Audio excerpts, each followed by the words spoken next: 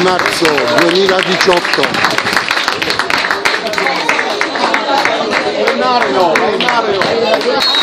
Stadio Giovanni Brucculeri, ventisesima giornata del campionato di eccellenza Girone A. Si sfidano le formazioni di Pro Favara e Castelbuono. Il buon pomeriggio vi raggiunga da Calcedonio Iacuzzo, doveroso minuto di silenzio per commemorare il giocatore della Fiorentina Davide Astori.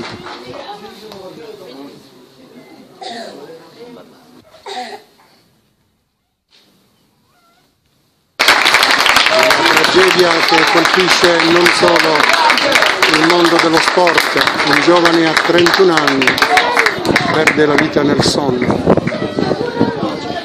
Quasi tutto pronto per il calcio d'avvio.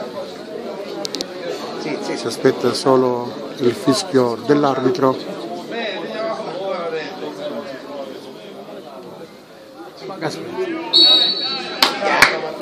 Preda di Pandolfo. Attenzione! È il gol che porta in vantaggio il Pro Favara. C'è colpo di sorpresa, il gol è di continuo.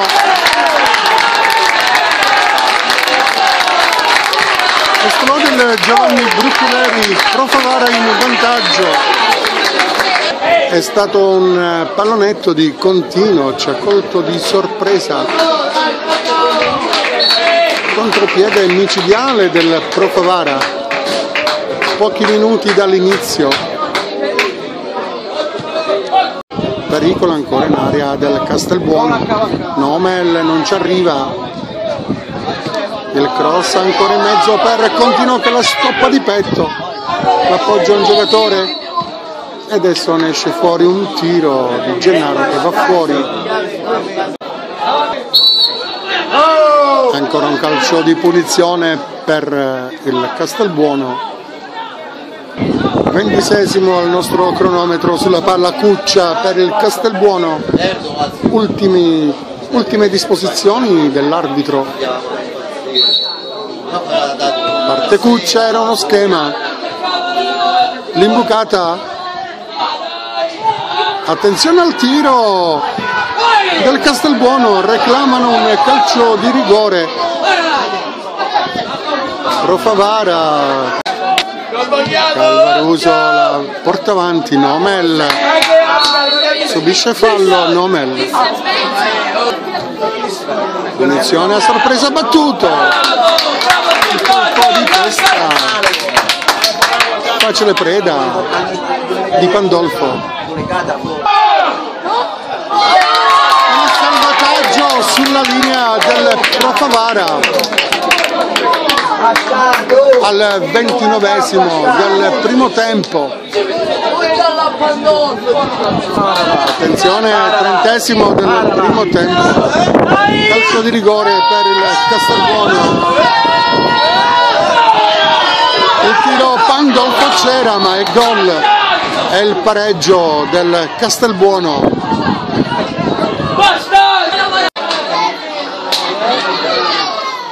Attenzione zona tiro per il Castelbuono Pandolfo. Un'azione di attacco fermata ottimamente del Castelbuono che può andare al tiro. La deviazione Pandolfo.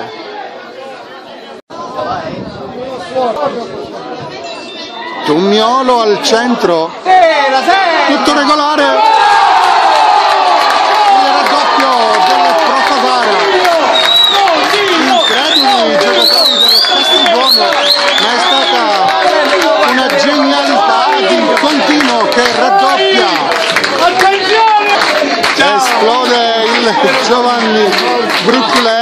Di Favara. Forza continuo!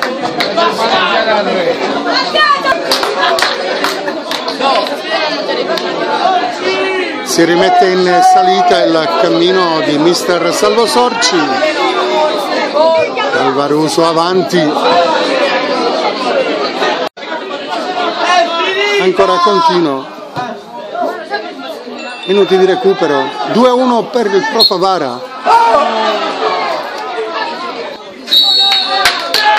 Semplice fischio dell'arbitro, finisce il primo tempo, squadra negli spogliatoi, a risentirci tra dieci minuti circa.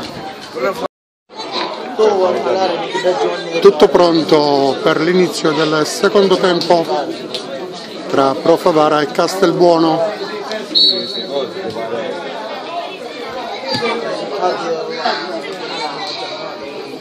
Si gioca da qualche minuto parziale 2 a 1 per il Profavara. Calcio di punizione Castelbuono. Calcio d'angolo per il Castelbuono, azione pericolosissima. Esce Pandolfo, il fallo di mano del giocatore del Castelbuono, punizione Profavara. Un contropiede del Profavara,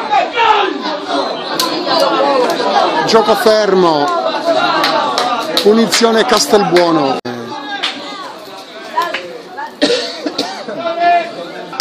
Ricorre ai ripari Salvo Sorci doppia sostituzione nelle file del Castelbuono.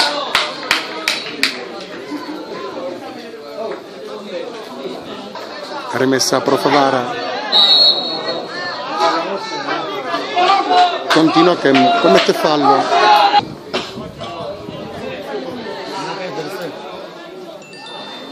Attenzione, Profavara con Piazza che va al cross. Esce Polizzi, la traversa e la clamorosa conclusione del Profavara altissima. Ultime disposizioni dell'arbitro. Cuccia, il tiro altissimo. Ventesimo del secondo tempo, tiro deviato, esce Polizzi. Ancora occasionissima del Profavara. Attenzione, zona tiro per il Profavara, fuori gioco. Saluto il tiro che bacia il palo. Quando ti ho dato, no! Castelbuono sulla palla ancora Cuccia.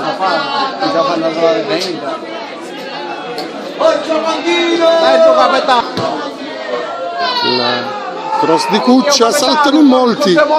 Il tiro!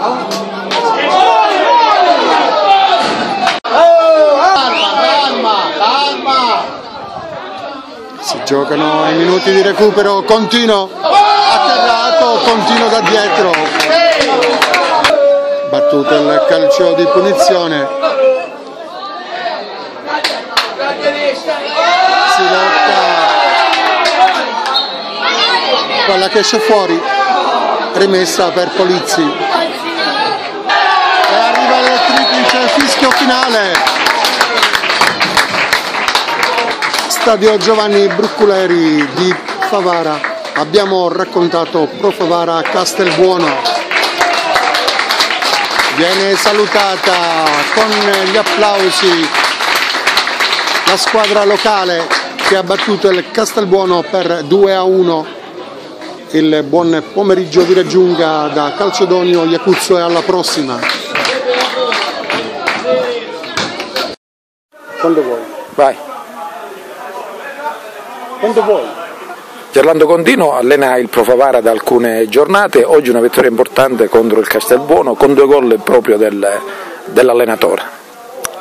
Sì, sono felicissimo innanzitutto per la vittoria e anche per i due gol, però di più per la vittoria perché ne avevamo bisogno e dovevamo sfruttare il fattore campo e ci siamo riusciti e mm, sono contentissimo. Il futuro non dico che è roseo, però ci sono buone possibilità di evitare i play-out. Sì, ora la classifica è un po'...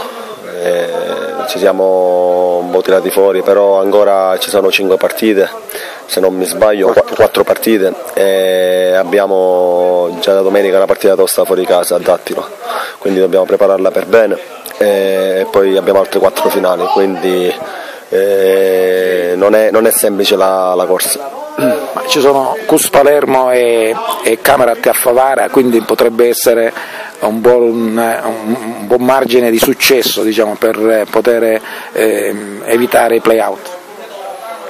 Sì, sulla carta sì, ma le partite vanno giocate e quindi o in casa o fuori casa vanno giocate, quindi intanto guardiamo la, la prossima partita a Dattilo e poi eh, vedremo le altre. Ci sono state delle scaramucce, la, l'ammonizione di, di, Pandolfo che, potrebbe anche, che era diffidato e potrebbe saltare domenica, oppure l'ammonizione tua nel finale? L'ammonizione di Pandolfo sì, mi peserà tanto perché domenica è squalificato, la mia è la prima quindi eh, non, ci, ci non, ci sono problemi, sì. eh, però è già da un bel po' che abbiamo 7-8 diffidati e quindi pian piano le, le dobbiamo scontare, quindi andata, per oggi è andata così. Sul rigore in tribuna qualcuno ha, lo ha lamentato sostenendo che non c'era. Guardi, io ero distante, ero in campo, non, non mi sento di giudicare, di, di dire come è andata perché non, non, l'ho vista proprio, ero troppo lontano dalla palla, quindi bisogna vedere le immagini. E poi c'è stato lo Iacono che ha sbagliato due gol fatti che potevano mettere in cassaforte il risultato. Sì, sicuramente abbiamo sferato più di una volta il 3 a 1 e poi alla fine ti complichi la vita e magari poi la possono pareggiare, quindi le partite vanno chiuse, però oggi è andata bene e ci godiamo questa vittoria. Ok, grazie. grazie. Con noi il direttore sportivo del Calcio del Buono, Favara siete venuti quantomeno per un pareggio, ma una sconfitta che brucia. Assolutamente sì, noi a Favara siamo venuti per giocarci la partita a viso aperto, per provare a uscire fuori da questa posizione di classifica che non meritiamo assolutamente. Oggi ne è l'ennesima riprova di, una, di un'altra ottima prestazione condita da due errori individuali, due errori marchiani che hanno regalato i due gol al Favara. Tra l'altro il secondo dopo, che, dopo l'1-1 meritato, che eravamo in pieno controllo della partita allo scadere del primo tempo. Eh, la squadra mm, ha subito in, in due circostanze la, la, gli attacchi del Favara che avrebbe potuto fare di più con un giocatore che poi ha sbagliato, però anche voi nel finale con il numero 11 eh, siete stati vicino alla, al 2 al 2. Abbiamo avuto due, due occasioni con, eh, con Saluto e con Abate con un sabotaggio sulla linea di, di Tummiolo. Non abbiamo subito niente di che, secondo tempo tranne che su, su altri due errori individuali. Usciamo a testa alta tranne per, per, questa, per questi errori troppo, troppo palesi fatti oggi dai singoli. Sono ottimista per il finire del campionato, quantomeno ci, per giocarci una posizione per fare il playout quantomeno in casa. Mancano quattro partite, secondo voi quali sono le partite più abbordabili? Ah, beh, abbordabili non c'è niente, tranne domenica giochiamo con un Casodaccia già retrocesso, poi andiamo a fare visita alla Parmomal che ancora giustamente si gioca le residue speranze di accedere ai playoff e poi alla penultima abbiamo il Licata.